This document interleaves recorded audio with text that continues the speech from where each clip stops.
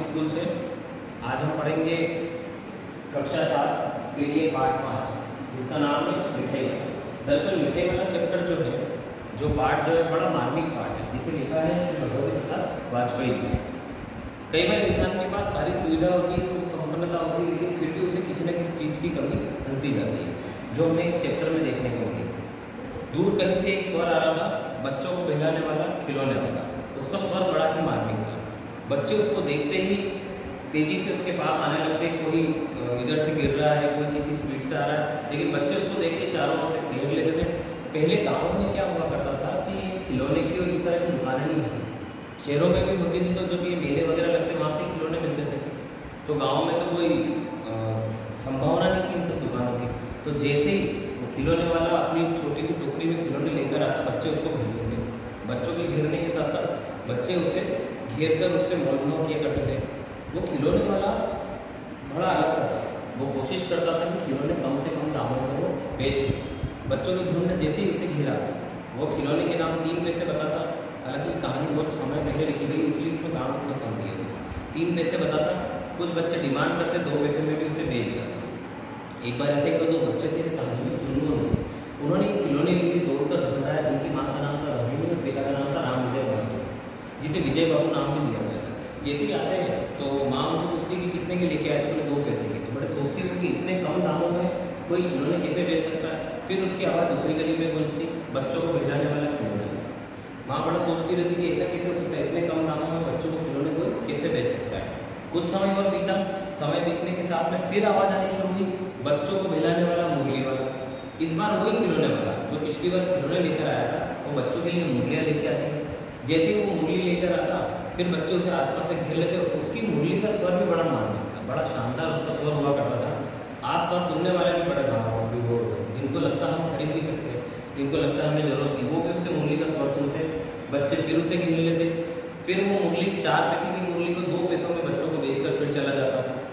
इस बार जैसे ही चुन्नू और मुन्नू जाते हैं उसके पास में, मुरली खरीद कर आते हैं रोहिणी के मन में फिर से वही सवाल कि ऐसा कैसे हो सकता है? कोई व्यक्ति इतने सस्ते दामों में फिर चार पैसे की जगह फिर दो पैसे में मुरली बेच के चला गया।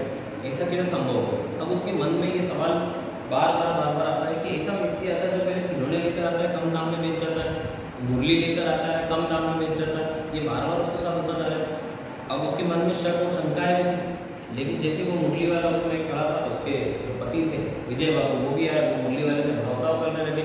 आखिरकार कम से कम दामों में अपनी मुरली बेचकर चलाएगा सर्दी का समय था। आठ महीने लगभग बीत चुके थे। आठ महीने के बाद जैसे ही रोहिणी छत पर खड़ी थी, फिर से एक नया स्वर सुनने को मिला।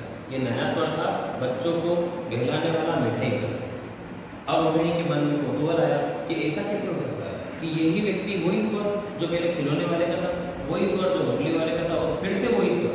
इस बार वो स्वर है मिठाई वाले का अब वो मिठाई लेकर जैसे ही आता है, वो अपनी सास के पास चली जाती है, वो अंदर से उसे आवाज़ लगाकर बाहर बोलती है कि, माँ जी, ऐसा नहीं लगता ये वही स्वर है? हालाँकि उसकी सास इतना ध्यान नहीं देती, उनको पता नहीं होता। वो मिठाई वाले को बुलाते हैं अपने घर पे। बुलाकर उससे पूछते कि, भैया, आप पहले घर कभी आया बोले हाँ मैं आया बोले, कब आया बोले, इसके पहले मैं यहाँ पर मुरली लेकर आया बोले, उसके पहले आप ही आए थे, खिलौने लेने, खिलौने लेकर बेचने के लिए? बोले हाँ मैं ही आया था खिलौने लेकर अब उसकी मन में फिर कौतूहल बढ़ा कि ऐसा क्यों हो रहा है कि ये व्यक्ति इतने कम दामों में पहले खिलौने बेचता था, इतने ही कम दामों में उसने पहले मुरली बेची और इतने ही कम दामों में वो क्या बेच रहा है? मिठाई बेच रहा है। आखिर हुआ क्या?